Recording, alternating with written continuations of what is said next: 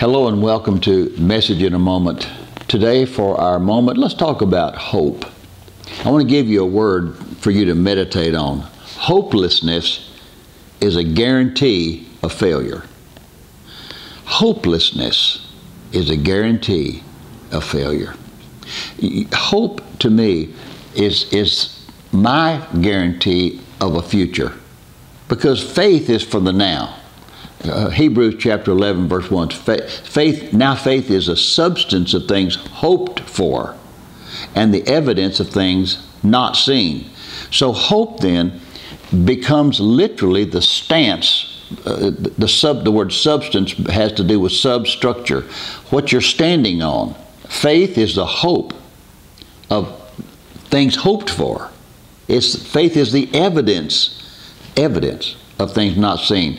So with hope, it gives me an anchor for my soul. Let, let me read to you from Psalm 42.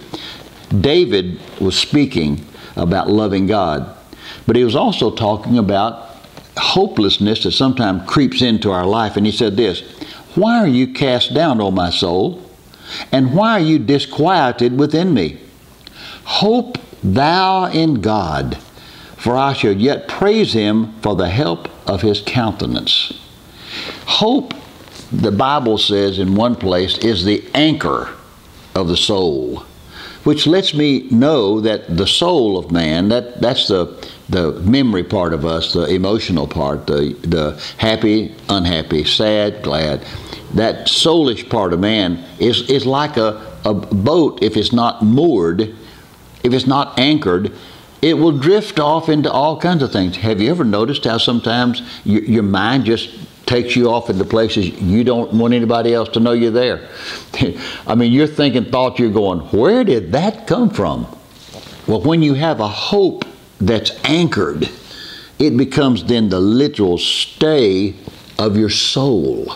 It helps you to keep that soul in focus. And you know what? You may today have a broken soul. You, you may have gone through things in life that just tore you up.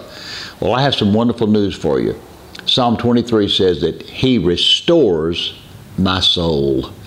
Would you let Him do that today? Even right now, while we're just sitting here, would you just let Him restore the broken part of your life? Would you let Him just, just fire up your hope a little bit for your today and for your tomorrow? Well, keep watching because I'll be back. We'll be talking some more about this wonderful God of ours. Until we meet again, God bless you is my prayer.